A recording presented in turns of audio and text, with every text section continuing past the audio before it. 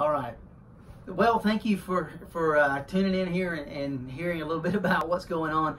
I wanted to, to get together with Steve because our rising sixth graders, our fifth graders, will be going up to sixth grade. Right. And this past Sunday, Steve was able to meet with some of them, but not all of you were able to meet. And so I thought it'd be a cool idea to, to sit down here in Steve's office, which, by the way, I know it's always open for you to come yep. by and, and meet him and, and talk and just hang out for a little while um, get some candy. Um, and so, uh, yeah, you, you, got candy right here, that, that always full. Um, but I thought it'd be really cool for us to uh, kind of interview Steve, ask him a few questions about uh, what you parents need to know uh, mm-hmm. with your rising sixth grader. Um, leaving children's ministry is always a scary moment, especially if it's your first child going into middle school what's what's expected what are they going to run into um, what do i need to do how do, do i need to be involved do i need to back off? What's what's my role as a parent when it comes to uh, a rising sixth grader and this handoff transition? So um, here today i just want to take just a few minutes to be able to let steve tell you what to expect. Um, so steve right now they came up this past Sunday and met with you, and and you were able to sh- mm-hmm. share with them a little bit about what Sunday morning looks like. Yeah. So let's start there. What does a Sunday morning look like for a sixth grader? For a sixth grader, so on August 4th, mm-hmm. that's the day they'll actually come up. Uh, they'll transition. You will come to the old gym because that's where middle school life groups take place. That's kind of our start spot. Okay. When they walk through the door of the of the what we call the JWAC, uh, they will sign in on the computers. There's three laptops there, and they'll sign in on those computers. They will not get a name tag. No more, so name, no tags. more name tags. Remember that, parents. No, no more, name, tags. tags. Some of you are celebrating. That's I don't right. Have to, that's right. I don't have to keep they, up with the name That's tag. right. They will sign themselves in. Okay. Um, and then as they walk into the gym, they will see a round table with their grade. Okay. Like if they're if they're a sixth grade girl, they'll find a sixth grade girl's table and grab a seat. Okay. Uh, or if they're a grade guy, same thing. And at that table will be a, a tribe tracker. I wish I had one with me. It's a little it's a little booklet that we make every week that has announcements for the week. So parents, it's really good to ask about the tribe tracker because it can keep you informed.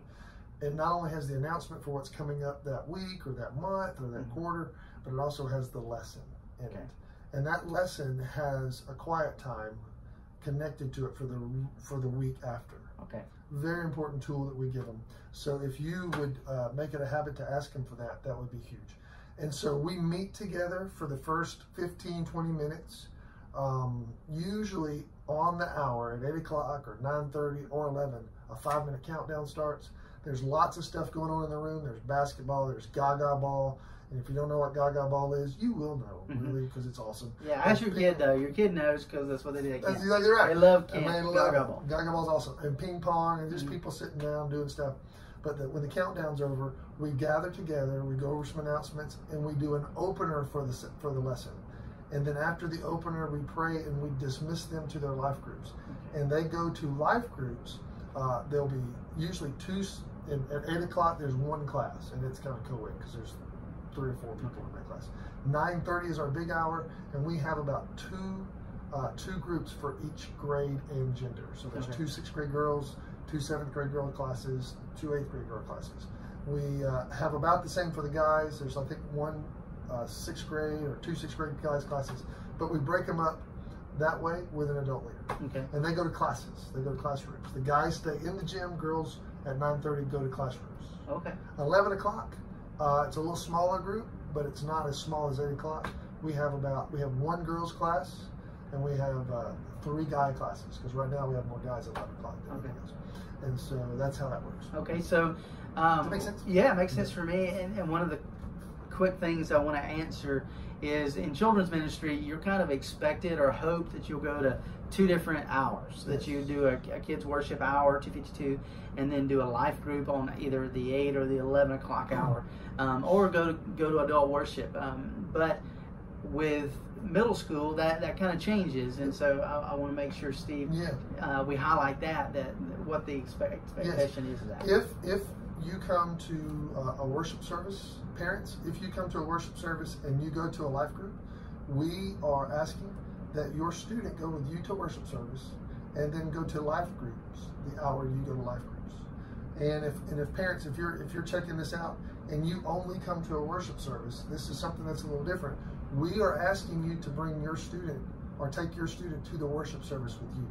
And we would encourage you to see if you can fold a little more time in your Sunday morning and find a life group to get connected to so they also can get connected. Mm-hmm. But going to the worship service with you as, as parents and the family, it's it's a priority for mm-hmm. us, and so we, we encourage that. Absolutely. So um, as we get ready to, to transition and thinking about um, Wednesday nights, is that is that pretty similar? Is there a different location for them on yes. Wednesday night? On Wednesday nights, we actually meet in the Student Center, okay. which is below Sossaman Chapel and it's the it's our youth room. And so Wednesday night, the middle school ministry called the Tribe. That's who we. That's our label. Um, we have the student center. Doors usually open between 5:30 and 6. And when I say that, they can come anytime in there. Uh, but food starts to happen about 5:45 or 6 o'clock. There's pizza, there's chips, there's candy, there's a snack shack. Cost of for food is about two dollars and fifty cents. Get your pizza, chips, and a drink, or pizza and drink. Uh, candies are a dollar, stuff like that. Um, and so that happens until about 6:45. Okay. There's hanging out, gaga ball, ping pong, video games, just sitting around talking, chatting, lots of stuff going on. Um, at 6:45, countdown hits the screen, and we start a worship service. We'll involve prayer, uh, singing, and our students uh, are majorly involved in the band and the mm-hmm. singing part. So if your student is a is likes music or wants to like music, mm-hmm. uh, you can you can connect with that. I think your low battery thing. yeah, I think it did. Let's see if we're still there. Maybe yeah. we can edit that out. That's right. So, that's right. And so, so Wednesday night is a worship service geared for and with middle school students. Okay. So we're in the Word, we're singing the Word, we're praying, uh, we're responding. It's just it's a it's a worship service, and our students, uh, like I said, are involved in all the music. They read Scripture, they pray. Uh, many of them share the gospel. We train them to do that just mm-hmm. so they can have an opportunity to do that. That's the whole awesome. Yeah. So, one last thing before we go. If I'm a parent and I say, okay, what is my role here? Mm-hmm. A lot of mm-hmm. times with children's ministry, the role is very involved. We want you to do it. And it may still be that with, with middle school too, but it may look a little different mm-hmm. uh, for a middle schooler. So, what what is it that you would say, parents? We want you to what? We want you to feel like you can be as involved in the tribe ministry as you want to be. Um, it's our desire because our desire is uh, to help our students to see that you're the primary minister to them, mm-hmm. and we're just your partners in ministry. Um, and so, if you want to f- be connected in small groups or event ministry or Wednesday nights, we have a place for you, uh, and would would encourage you to be a part of that. Um, another part is to remember, I, I want to partner and equip you the best way I can. Uh, I mean, I have two sons, hmm. 123 and 120, and, uh, and been doing this just a little while. and I just want to come alongside you and help you in any way possible. And so your role is is parent, and I just I want to help you Absolutely. be the best parent you can. Absolutely. Well, thank you for your time today. And, and listen, if you have any questions, I know yeah. you can reach out to Steve. Please his, his email is there on the church website. You can reach out to me.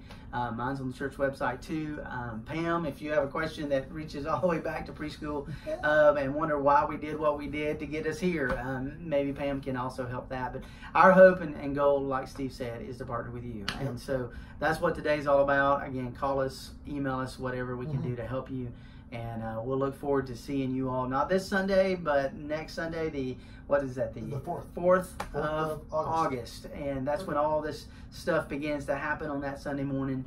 Um, and so we're looking forward to, to, to seeing your kids uh, move into this new phase and transition. Um, so thanks for being a part of this with us.